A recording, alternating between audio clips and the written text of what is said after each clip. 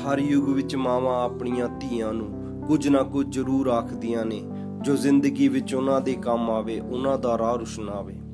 ਮੇਰੀ ਮਾਂ ਨੇ ਮੈਨੂੰ ਆਖਿਆ ਸੀ, ਸਿਆਣੀਆਂ ਕੁੜੀਆਂ ਲੁਕ ਲੁਕ ਕੇ ਰਹਿੰਦੀਆਂ ਦੁੱਖ ਦੁੱਖ ਕੇ ਜਿਉਂਦੀਆਂ ਚੁੱਕ ਚੁੱਕ ਕੇ ਤੁਰਦੀਆਂ। ਨਾ ਉੱਚਾ ਬੋਲਦੀਆਂ, ਨਾ ਉੱਚਾ ਹੱਸਦੀਆਂ। ਕੁੜੀਆਂ ਆਪਣਾ ਦੁੱਖ ਕਿਸੇ ਨੂੰ ਨਹੀਂ ਦੱਸਦੀਆਂ। ਬਸ ਧੂਏ ਦੇ ਪੰਜ ਰੋਂਦੀਆਂ। ਤੇ ਕੰਧਾਂ ਦੇ ਓਲੇ ਕੁੱਕ ਵਸਦੀਆਂ, ਕਿ ਕੁੜੀਆਂ ਤਾਂ ਸ਼ਰਮ ਹਿਆ ਦੀਆਂ ਪੁਤਲੀਆਂ ਹੁੰਦੀਆਂ। ਸਿਰ ਢੱਕ ਕੇ ਰੱਖਦੀਆਂ, ਅੱਖ ਉੱਤੇ ਨਹੀਂ ਉਹ ਚੱਕਦੀਆਂ, ਕਿ ਕੁੜੀਆਂ ਤਾਂ ਨਿਰੀਆਂ ਗਊਆਂ ਹੁੰਦੀਆਂ।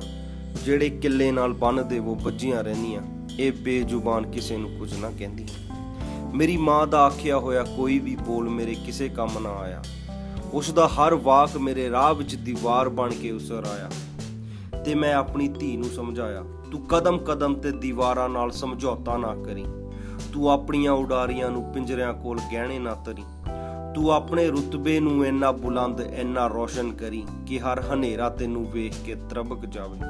ਹਰ ਜੰਜੀਰ ਤੈਨੂੰ ਦੇਖ ਕੇ ਮੜਕ ਜਾਵੇ। ਹਰ ਦੀਵਾਰ ਤੈਨੂੰ ਵੇਖ ਕੇ ਠਿਠਕ ਜਾਵੇ।